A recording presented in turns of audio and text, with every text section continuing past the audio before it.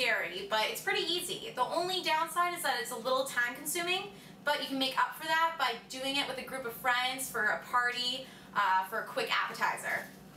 So what I did was use a pound of ground chicken, and then I added some sesame seeds, a scallion, and in case you don't know what a scallion is, it's the same thing as a green onion, just one of these, and I used three of them, uh, and some sesame oil, which you can find at any grocery store, it's about three bucks, and soy sauce. And I just mix it in together, and that becomes your filling for the dumpling. And then you can also jazz it up by adding some ginger, some garlic, whatever flavors you really want to taste in your dumpling. So what you do is you're going to want to buy uh, any type of brand, but basically just dumpling wrappers. And it's pretty simple from there on out. We're going to take a half a teaspoon of the filling and put it in the center. And what you're going to want to do is while, while you're doing this, your fingers are going to get a little messy. So you just want a little damp cloth by your side right there uh, to clean up when you're folding the wrappers.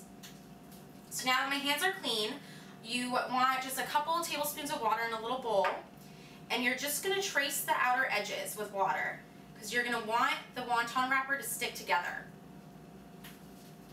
So now what you're going to do is I'm going to show you two different ways to wrap it.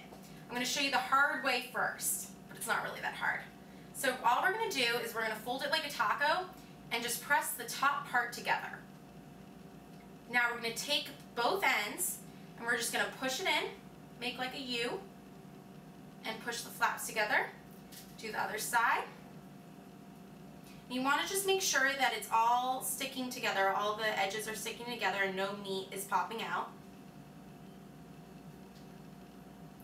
And then your goal is to make it look like an H. So that's pretty H-like. And then you're going to need a little more water because you're going to take the flaps and push them towards the center. And this part's a little harder just because uh, the wonton wrapper tears easily. So you're just going to want to be a little delicate with this. Alright.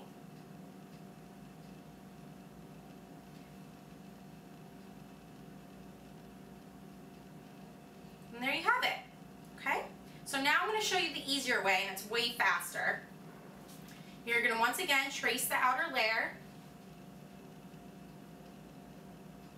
And now, just as you did before, fold it like a taco.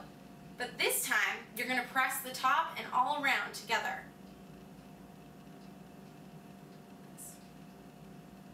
You can also make it really fun. I have some pre-made ones here for you. Uh, use a fork to just go out of the edges and make it a little uh, edged and pretty.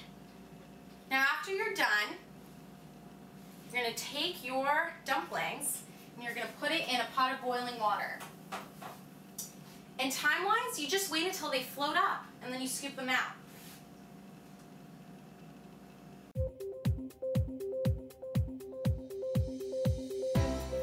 Alright, so it's just about time to take them out. And the cool thing too about this recipe is you can not only boil them, but you can also pan fry them on the stove top. This way, uh, by boiling, it's a little healthier because you're not dealing with any of the oils. And it gives a different texture, definitely. This is more on the softer side, whereas pan frying it, it gets a little crispy. Both delicious. Alright, so we still have a bunch in the pot, but for right now, I'll just show you how beautiful they look. Look just like what you would have at a restaurant. And now let's just cut into one. And what we have here is perfectly cooked chicken inside and a little hot. But I also have an Asian dipping sauce. You can use any type of sauce if you just want soy sauce or just eat it plain. Um, they're good just every which way.